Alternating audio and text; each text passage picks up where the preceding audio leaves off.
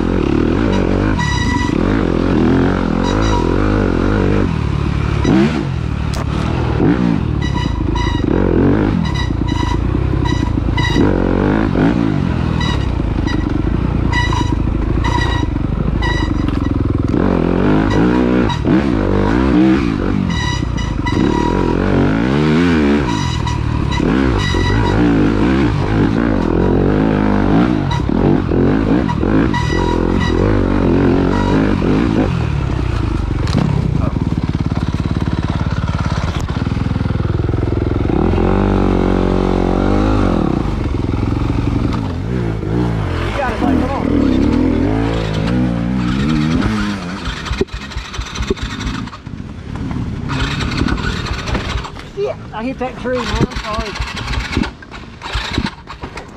I thought I was gonna get around. Oh.